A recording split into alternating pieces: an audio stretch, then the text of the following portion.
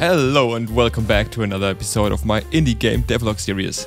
In today's video we'll be diving into the stylizing topic and I want to show you what I did to the game environment to jump from this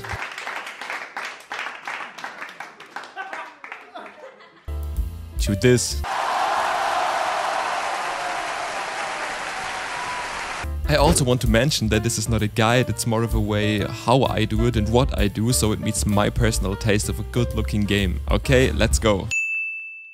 One of the first things players notice when they enter the game world is the sky. A skybox is like a canvas that paints the backdrop of your game's atmosphere.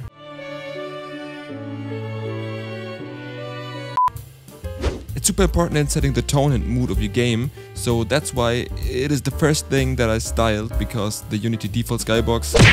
Yeah, you know, if you know, you know. Whether it's a clear blue sky, a mesmerizing sunset or a mysterious night sky, a well-chosen skybox can immerse players and make the whole in-game world feel alive. I could not decide, so I coded an entire day and night system which includes all of that. I also made a video about that, you can watch it after this one. In my game I used the free Fantasy Skybox pack. I'll leave a link to the Unity asset store in the description. Fog isn't just about hiding distant objects for performance reasons. It's about adding depth and atmosphere to the game world. In addition, the fog is good to trigger the adventure spirit of the player. He can ask himself, hmm, what is behind the fog? With fog in my game I can create a sense of mystery. Also, with this layer of visual interest, I can kinda merge the environment objects together.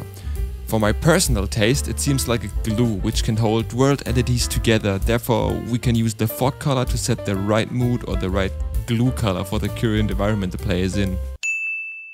Lighting is a game changer when it comes to setting the mood of our game world. Whether it's bright and sunny or super dark because it's rainy and a storm is coming. Also the entities in your world can, I would say, interact with other objects. Here, for example, you can see the light flickering from a flame on a torch. The whole thing gives the environment a bit more atmosphere and shows the player that the game world is not one-dimensional.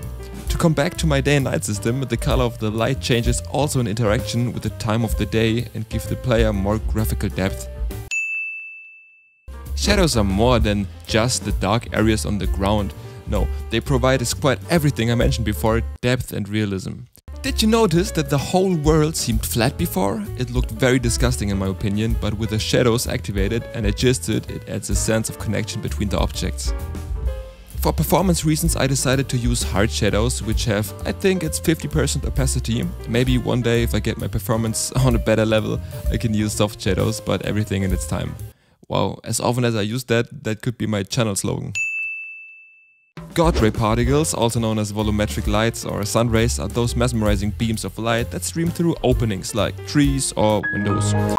In the video you see that the God ray is pretty alone and not in between a forest or something, because in this place I want something holy to happen. For example a gift from an NPC or something, but I can use these particles everywhere now where I want some aesthetic fake light. These particles add a touch of magic to my game world, guiding players' attention and making scenes feel ethereal. They could transform the set forest into a magical area. These small details can have a huge impact when it comes to stylizing games. Butterflies fluttering around uh, can add life and movement to our environment and in the night I replace the butterflies with fireflies so even if it's dark something is happening. Players might not consciously focus on them, but subconsciously. They enhance the immersion and make the world feel authentic. Of course, other particles can help too, like a bit of dust flying around, maybe in combination with a God Ray. Okay, the last one, post-processing effects are like the cherry on the top. I use the color correction to make the colors pop and to add a cinematic flair. To focus on the center of the screen, I also use a vignette in my post-processing. And to get the typical stylized look I also used a small amount of bloom, but it's a balancing act between dreamy good looking and okay, what is this? These effects will dramatically enhance the overall look of our game. And there you have it! By incorporating these stylization techniques from skyboxes and fog to post-processing effects and particles, like butterflies, like fireflies, like flying dust around, you name it, I try to not just create a simple linear game world, but an experience for the players. I hope you enjoyed the topic around stylizing. If it has, then I would be very happy if you subscribe to this channel and leave a like there. Thanks for joining me in this episode. See you in the next one.